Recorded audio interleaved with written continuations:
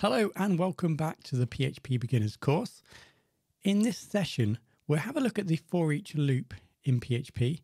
Uh, so we'll provide you some examples and then look how potentially we can use this to output information from a database. So as I alluded to there, the for each construct, it provides us an easy way of iterating over arrays and objects.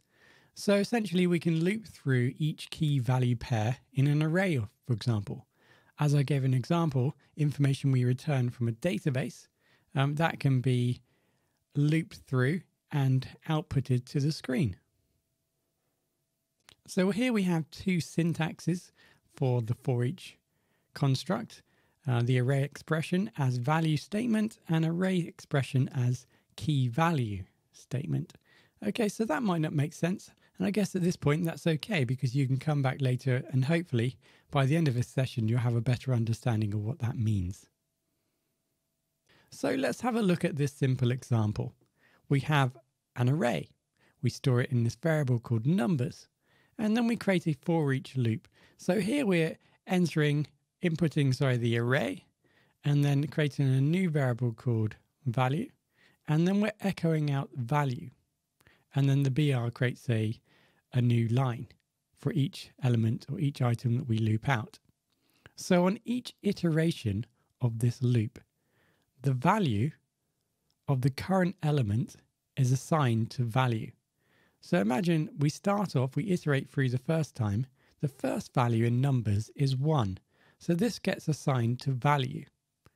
And then we echo out value, which equals 1. And then so on. So each time it iterates, um, we advance by one in the array. So the second time this iterates, two is taken from numbers and placed into the variable values, and then we echo out number two, and so on, all the way up until four. So we can now see this code in action. If I press refresh, you can now see that we iterate through the array one, two, three, four, and we have a BR which represents a new line, so all the numbers are on top of each other. So that was an example of using an array.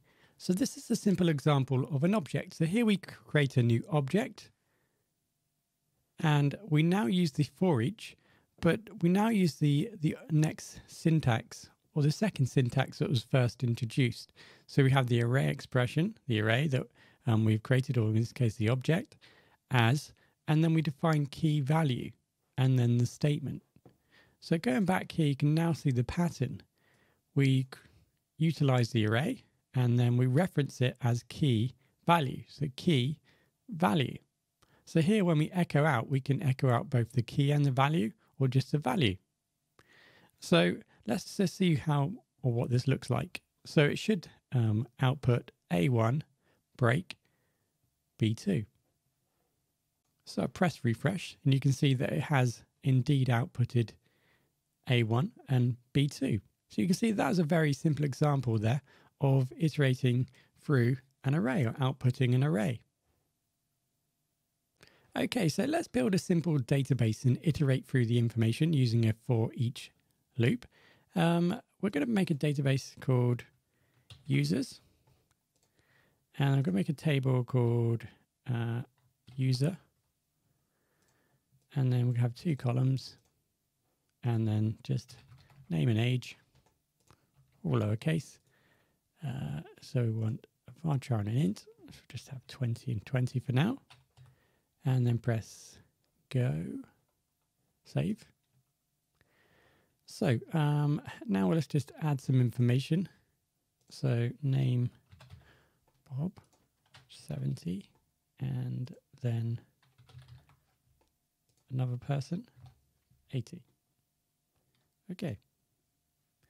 So now we have a look. We've got two people in our database.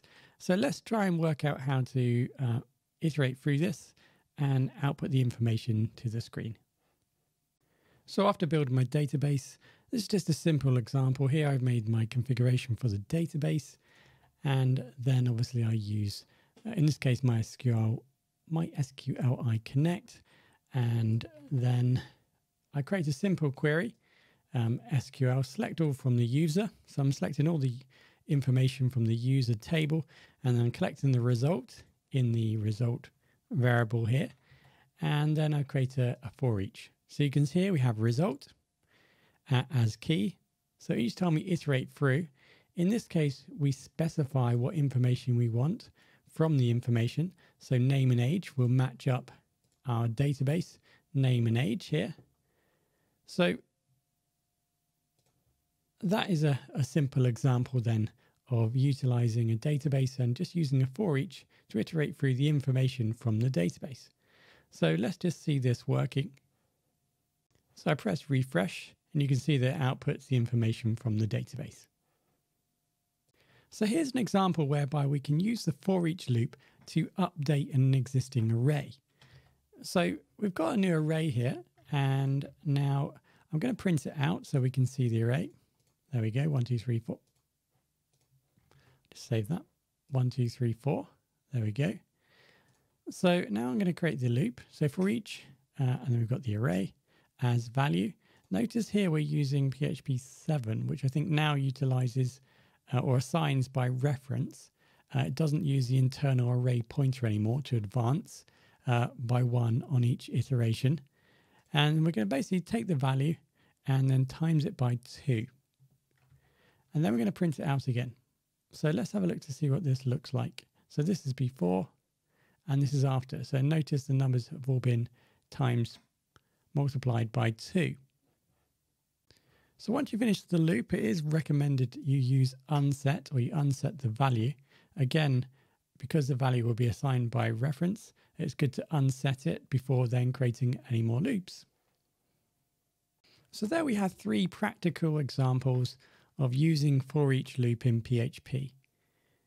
I demonstrated some for each loop examples. We utilized the database and also updated the array utilizing the for each loop.